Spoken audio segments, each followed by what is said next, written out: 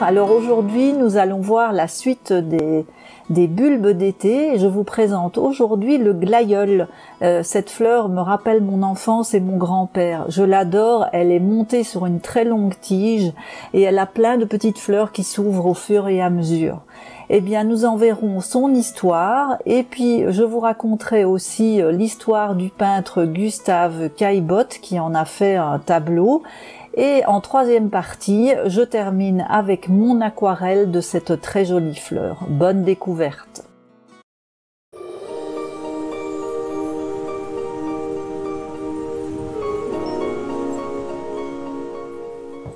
Le glaïeul est un plaisir pour les yeux par ses fleurs qui poussent des deux côtés de sa très haute tige. Elles peuvent avoir de multiples couleurs. Leurs feuilles ont des formes d'épée. Cette fleur majestueuse s'accorde parfaitement à tous vos bouquets d'été, quelle que soit l'occasion. Son nom vient du latin gladius, qui signifie épée, glaive. Le glaïeul a une signification très héroïque. Il symbolise la force, la victoire et la fierté. Cette signification remonte à l'époque des Romains, lorsque les gladiateurs se battaient littéralement dans l'arène pour la mort ou les glaïeuls. Le gladiateur vainqueur était en effet couvert de glaïeuls. Même encore aujourd'hui, il existe en néerlandais une expression utilisée dans le cyclisme qui dit la mort ou les glaïeuls. Aux Pays-Bas, cette fleur est remise aux participants qui franchissent la ligne d'arrivée lors de l'événement La marche de quatre jours de Nimègue. De l'Afrique à la Méditerranée, le glaïeul est associé à la force et l'intégrité morale, un symbole puissant capable de percer le cœur de celui ou celle à qui il est destiné, déchaînant passion et amour.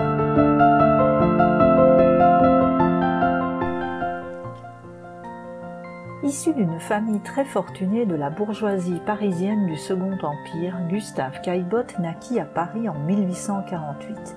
Il veut devenir peintre et sa famille accepte sa vocation à condition qu'il fasse d'abord des études de droit qu'il réussit brillamment. Il passe son enfance et adolescence entre Paris et la maison familiale de Hyères, aujourd'hui propriété communale. Il aime y peindre le jardin, les amis, les embarcations. C'est là qu'il a peint entre autres certaines scènes de périssoir, ses canaux longs et plats. Il fut très proche durant sa vie de son frère Martial, photographe. À la mort de leur mère en 1878, les deux frères s'installent boulevard Haussmann et achètent une propriété au Petit Gennevilliers où ils font construire juste au bord de la Seine une maison en meulière de deux étages.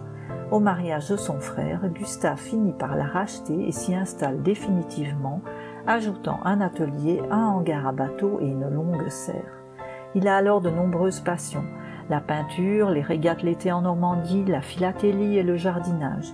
Il conçut son jardin de Gennevilliers, celui-ci cependant fut moins connu que celui de Claude Monet à Giverny. Caillebotte échangeait souvent des conseils et des plantes avec Monet. Le jardin de Gennevilliers fut bombardé en 1944. Ses premiers tableaux montrent un Paris peuplé d'ouvriers et de bourgeois en haut de forme. Ses raboteurs de parquet furent refusés au salon. Il rejoint alors les impressionnistes et exposera avec eux de 1876 à 1882. Il les soutiendra grâce à sa fortune reçue en héritage. Il deviendra leur mécène.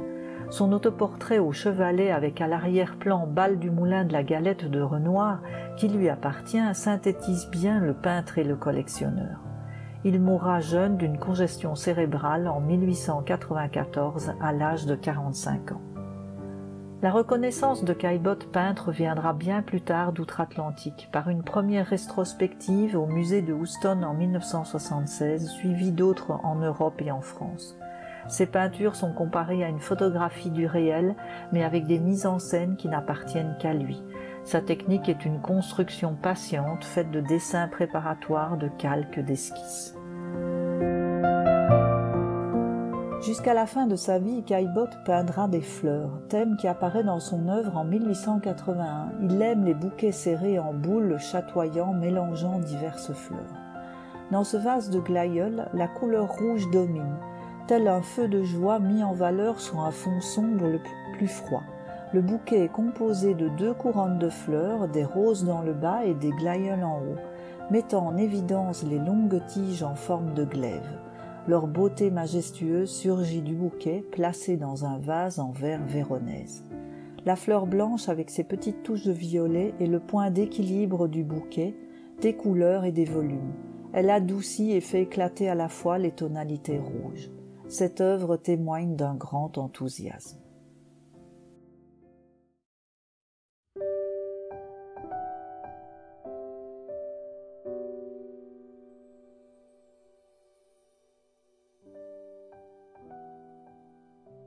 Je vais d'abord commencer par vous montrer comment le dessiner. Alors là, moi, je pars de cette fois-ci de, de triangles. J'en dessine un premier et ensuite je vais, il représentera en fait les trois premières pétales de la fleur et exactement dans les, dans les côtés, nous refaisons trois autres pétales et un petit triangle vient terminer le, le cœur de la fleur.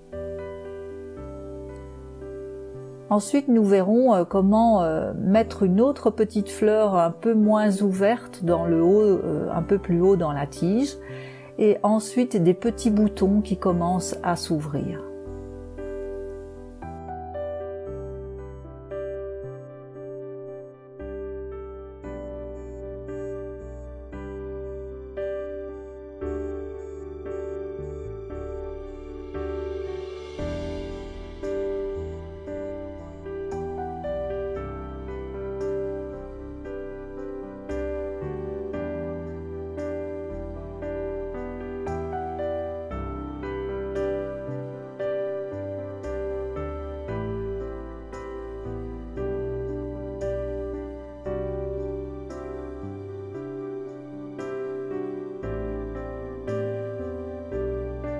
Pour la réalisation de l'aquarelle, je commence par mettre euh, d'abord les fonds euh, les plus clairs des pétales et puis petit à petit je, fais le bord parce que dans, cette fleur le, bord des fleurs est particulièrement souligné et vous verrez euh, vous amenez petit à petit la peinture vers le centre mais le bord reste plus fort mais très fin.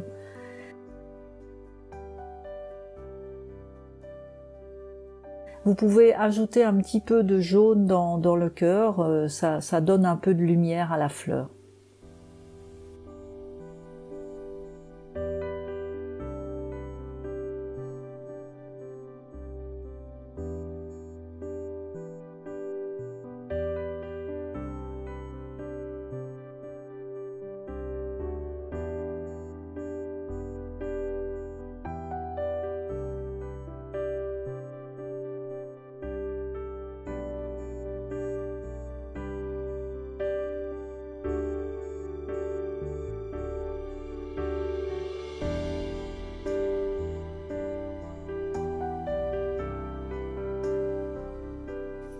Je continue mon aquarelle euh, en réalisant maintenant euh, la tige et les feuilles. Et je vais utiliser des verres en faisant des côtés un petit peu plus sombres pour marquer euh, les ombrages. Et ensuite nous verrons je réaliserai en dernier lieu le fond cette fois-ci dans une version très claire mais vous pouvez la réaliser en plus foncé. Et là j'utilise par petites touches mes différents dégradés de verre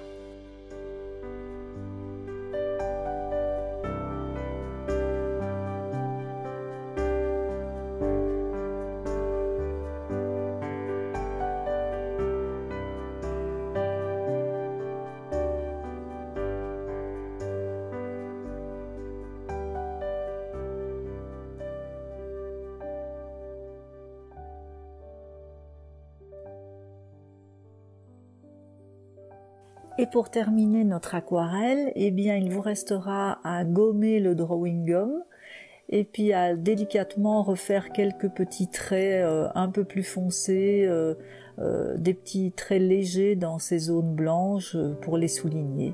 Et ainsi votre aquarelle est complètement finie.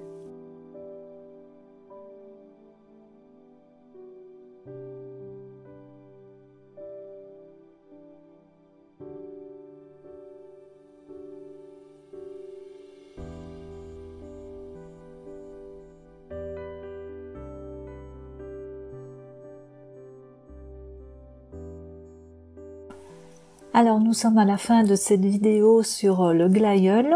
J'espère que vous aurez aimé cette fleur comme moi et je vous propose de la retrouver dans un prochain tuto avec une carte réalisée euh, cette fois-ci au pastel et toujours sur la fleur le glaïeul. Eh bien, on, je vous retrouve très bientôt. Pensez à vous abonner, à liker et mettre les petites euh, notifications pour être prévenu des prochaines vidéos sur les fleurs. Merci.